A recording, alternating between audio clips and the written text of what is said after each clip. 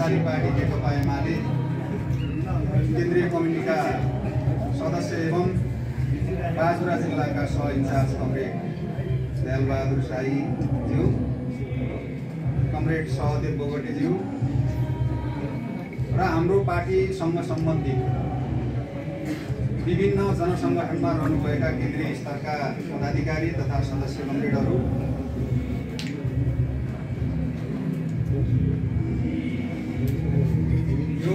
सम्मेलनमा उपस्थित हुनुभएका बाजुराबाट काठमाडौँमा अध्ययनरत विद्यार्थी कमरेडहरू र विभिन्न पेसा व्यवसायमा रहनुभएका साथीभाइहरू तपाईँहरू सबैमा हार्दिक अभिवादन व्यक्त गर्न चाहन्छु। पार्टी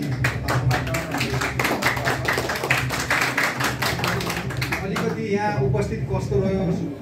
एउटा स्थानीय तहबाट मैले अलिकति अध्ययन गर्न खोजेँ। त्योभन्दा पछाडि म केही आफ्ना भनाइहरू दृष्टिकोणहरू